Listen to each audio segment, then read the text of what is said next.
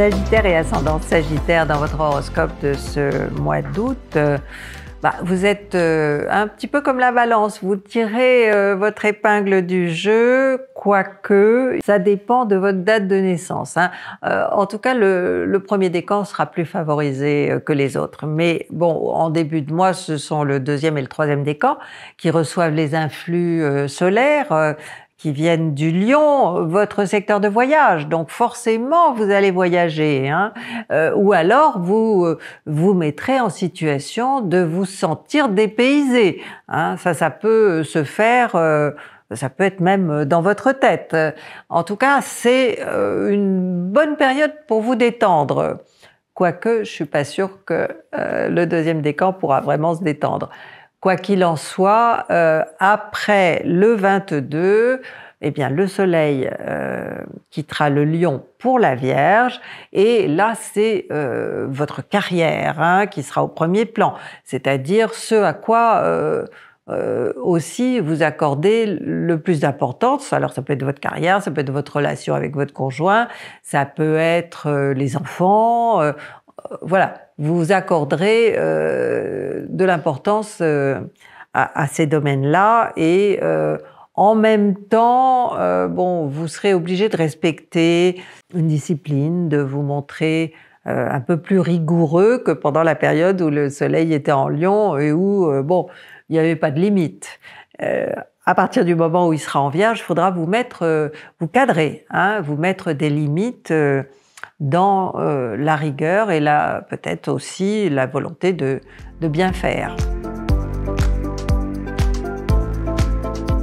Du côté de vos activités gérées par Mars et par Jupiter qui est votre maître, eh bien justement les deux planètes vont être conjointes et elles vont être conjointes face à vous, hein, en Gémeaux.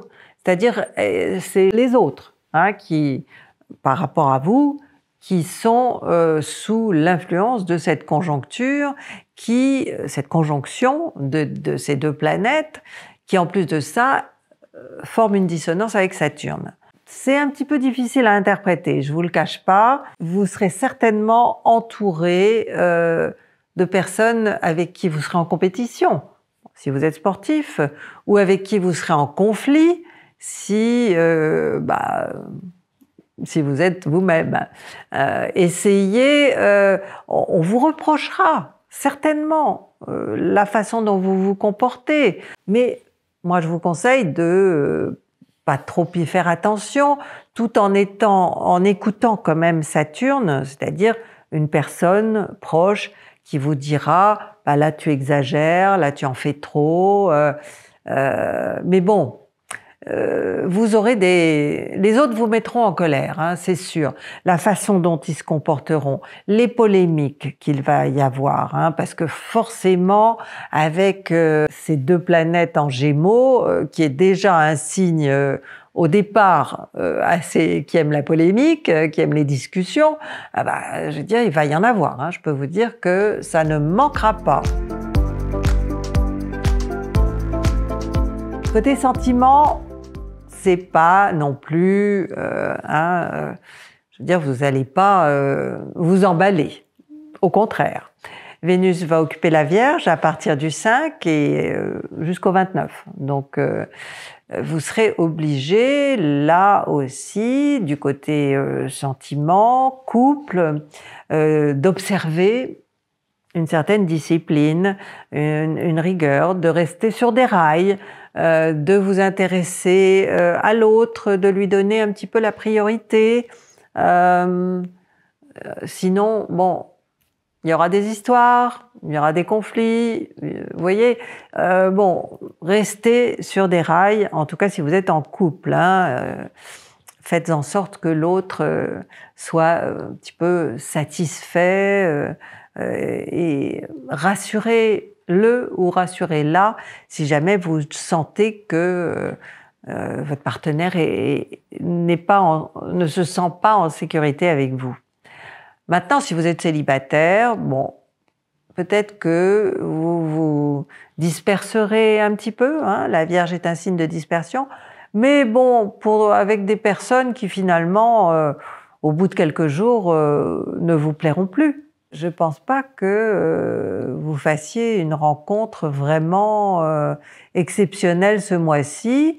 Alors, sauf si la conjonction Jupiter-Mars euh, produit euh, ce genre de choses. Mais franchement, ça m'étonnerait, étant donné qu'elle est en dissonance avec Saturne. Donc, même si vous rencontrez quelqu'un qui vous fait un effet bœuf, euh, peut-être qu'il ou elle ne sera pas libre. Le 3, le 9, le 18 et le 22, ce seront les meilleures journées de ce mois. D'abord, bon, pour voyager, pour euh, aussi euh, faire euh, régner une sorte de, justice et d'équité autour de vous. Et puis ensuite, bah, pour reprendre le travail et observer hein, les rituels habituels. Eh bien, je vous souhaite un très bon mois d'août. Euh, si vous voulez plus d'horoscopes, vous savez ce que vous pouvez faire, hein, consulter nos réseaux sociaux ou euh, nous écouter dans nos lives du mardi et du vendredi, quoique euh, mois d'août, on va peut-être ralentir un petit peu la cadence de manière à pouvoir aussi prendre des vacances. En revanche, bon, on, on, sera là pour les consultations. Donc, si vous avez besoin d'un conseil, d'analyser votre thème, vous pouvez donc prendre rendez-vous. Très bonnes vacances à tous.